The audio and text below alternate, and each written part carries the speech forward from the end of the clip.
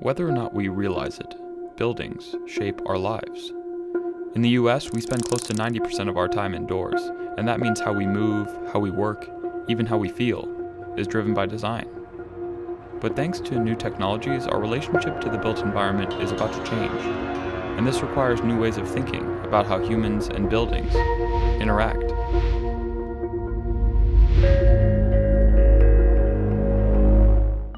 The field of human building interaction um, suggests the science surrounding how humans uh, perceive and adapt to artificial environments. Technology mediated approaches to basically understand but also rationalize and improve how we interface with buildings. Understanding that relationship and how that relationship affects human users as well as building performance.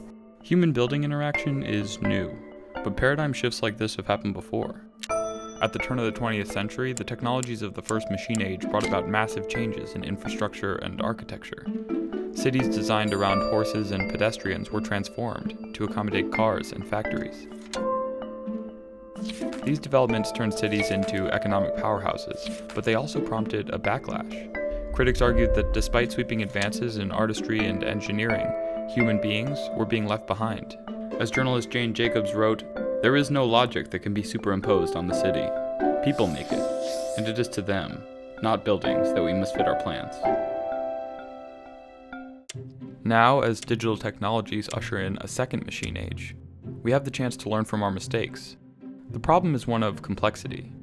A complex system has uh, emergent properties, and so uh, things like the weather is a complex system. And humans are a complex system too. It's hard to predict exactly what a human is going to do. So a building is really sandwiched between these two complex systems, the weather on the outside and humans on the inside. This inherent complexity is why approaches based on intuition and rules of thumb leave occupants dissatisfied. But thanks to advancements in sensing and machine learning, buildings may be able to dynamically interact with occupants in an ongoing way. We now uh, have the ability to collect data like never before. In buildings today, what we find is that the humans are constantly adapting to what the building is all, all about. And with capabilities such as uh, human behavior modeling, machine learning and such, building is completely capable of uh, learning from the human and adapting to the needs of the human. To learn more about how to design for this relationship, architects and engineers are turning to human-computer interaction, a field that combines psychology and design with computer science. Human-computer interaction came into being as a field because we started creating computers that people could actually interact with. When there were supercomputers, not many people actually interacted with computers, but when the personal computer or PC came into being, we needed to understand the intersection between psychology and computing. One of the key principles in HCI is human-centered design. Is it going to serve the needs and meet the needs of the user population instead of what's in the engineer's head? So what does human-centered design mean for a building? It starts with the design process. Testing ideas in virtual reality removes some of the guesswork from design by allowing researchers to study how people actually behave in different spaces. Um, you might be wearing a head-mounted display where you're um, then totally immersed in a computer graphics environment. We can use that type of virtual environment to um, create spaces that then can help us study human building interaction. Virtual environments give us the opportunity to, to really explore the edges of this manipulation of perception and adaptation. We can create the layout just as kind of an architect could. But even after construction, building systems can continue to experiment and adapt to human needs. Take heating and air conditioning preferences, what experts call thermal comfort. Instead of buildings where half the people are too hot and half are too cold, temperature can be tailored to the preferences of individual occupants. So the building or the space to know who you are, what your needs are, what your preferences are, uh, what uh, the context is.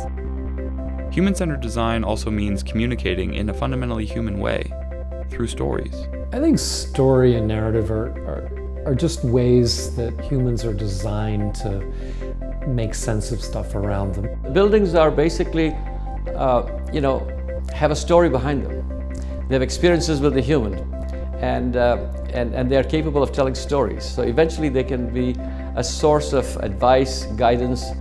These technologies may sound like theme park gimmicks or science fiction, but their applications are anything but. So I work at the Children's Hospital of Philadelphia. One of the things that we're trying to do is figure out how to make the patient experience better.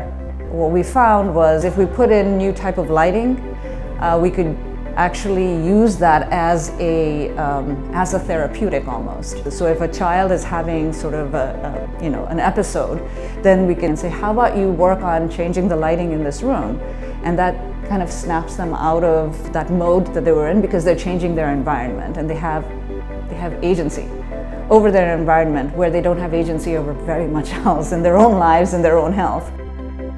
To the engineers and designers working in human building interaction, Shelter and aesthetics are just the beginning. Buildings can get to know us, take care of us. I would like people to erase what they think about buildings and what they know of buildings. What are we trying to do for human beings in buildings? What do they need outside of just shelter? Um, and how can we meet those needs? I never saw buildings as lifeless. I always thought they have their personalities and they have uh, their goals and that's what we're trying to do, give them a life, bring them to life.